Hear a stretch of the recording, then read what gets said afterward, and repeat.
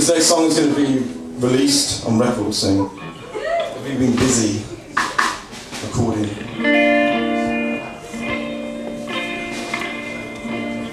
Sitting in the Fire.